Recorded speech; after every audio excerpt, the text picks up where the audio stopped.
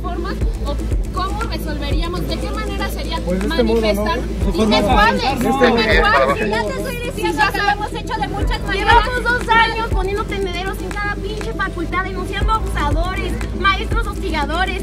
Dos pinches años poniendo tendederos. Los quitan, los violentan, los queman. Los alumnos nos amenazan de feminicidio,